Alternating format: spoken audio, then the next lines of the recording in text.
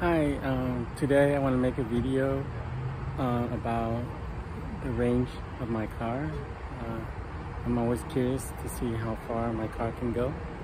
Uh, my car is uh, 2023 um, ID4 Pro rear wheel drive um, and I'm at uh, Electrify America in um, at Anaheim Plaza in uh, Orange County, California. right now, um, it's almost 100%. As you can see, um, I actually started charging when it was at 77% and it's taking almost 27 minutes uh, to charge the 100%. So it does take a while. Um, I um, I owned this car for about eight months, and this is like the third time I have charged it to 100%. Um, um, one of the times I did charge was um, when I did the trip to um, Las Vegas. This is just for my curiosity, just to see how um, how many miles can I get with 100% on my car and for those who really want to know uh, for themselves also. Come on. It's taking a while, but let me see. Okay, I think my charging has stopped. Um, I'm getting a notification. There you go. So from my driving habits, uh, it says maybe I can go up to 325 miles, but um, we will see. Uh, I'm gonna set the mode to comfort, okay, and then temperature. I like 70 degrees right now. It's a little bit. It's like fall weather in California, which is not really the weather doesn't really change that much, but uh, 70 degrees is comfortable. Uh, let me see if I can change, reset on the, just, uh, charge.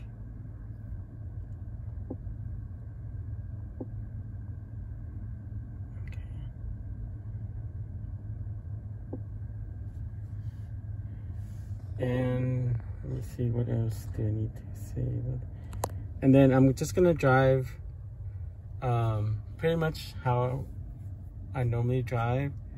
I, I don't drive a lot of freeways so that will probably make it less uh, efficient. Okay so right now we are starting off 100 percent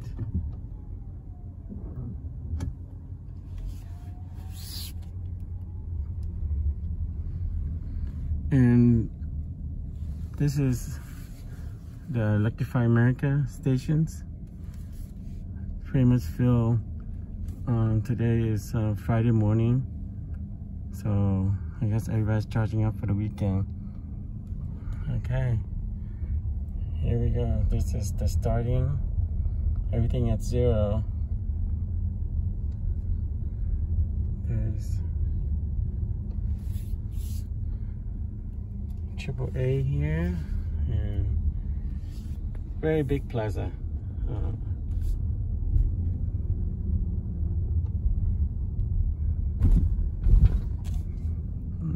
Party City. Petco.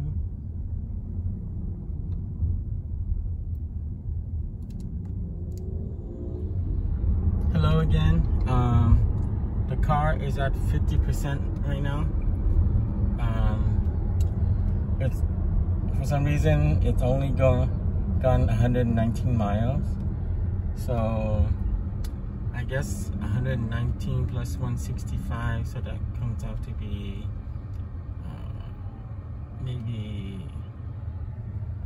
uh, four.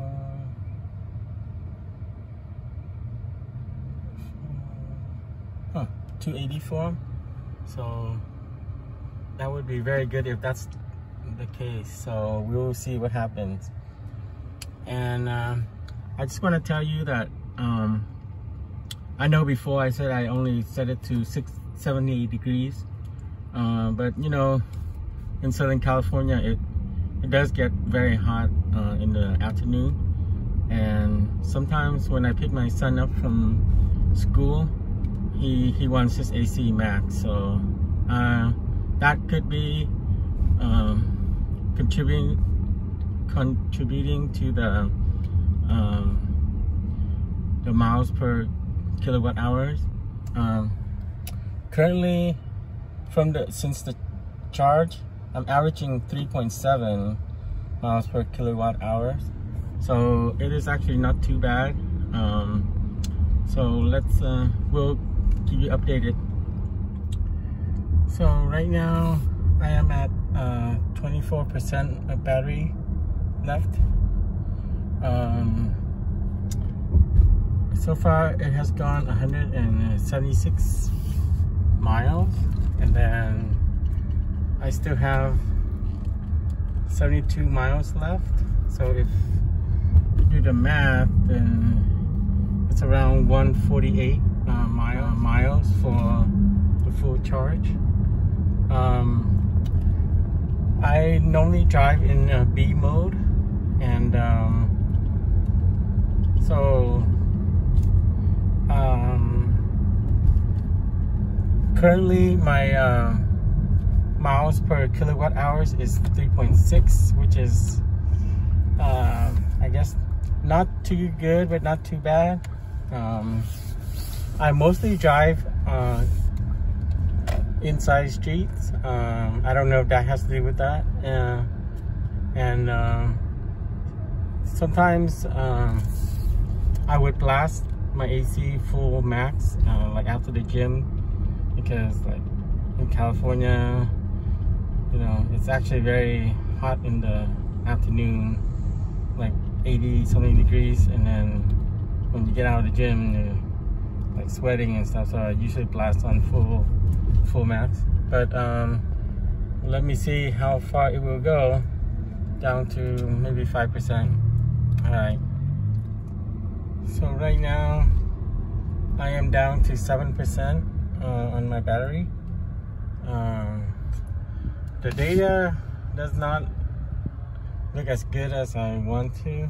So at 7%, it's showing uh, I went 216 miles. And then 7%, I still have 17 miles left. So if I calculate that out, it should be around 233 miles for full charge. Um, I was expect I was hoping it'd be around 250, but um, so the data right now it shows um, that's kind of weird. I average my miles per hour is 16, which is very low, I guess. I only drive mostly in inside streets. Um, uh, uh, miles per kilowatt hour is 3.6. Um, and then since I charge, I've gone 14 hours and then I'm gonna pull up to the Electrify America soon to charge because I don't really want to go anything lower right now down to, I'm down at 7% okay now arriving at my favorite charging place. Um, it's at the Anaheim Plaza.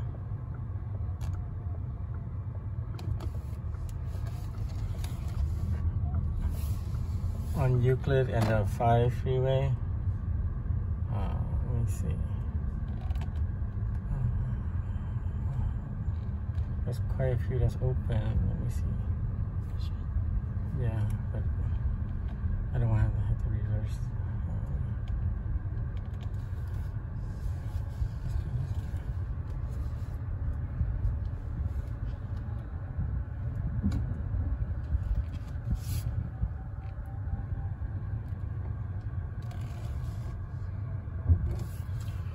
Okay. So again, um, I'm down to 7%. Uh, I've gone uh, 216 miles. Um, there's still 17 miles left, so that would calculate out to be around 233. So to summarize up my um, my range test, my car is a 2023 ID4 Pro uh, rear wheel drive with uh, um, LG battery uh, with maximum charging speed of 135 kilowatt. Um, I drove from 100% down to 7%, uh, uh, just normal, my daily normal routine. Um, I, I drive uh, mostly on B mode and then with comfort zone, uh, comfort driving, I guess.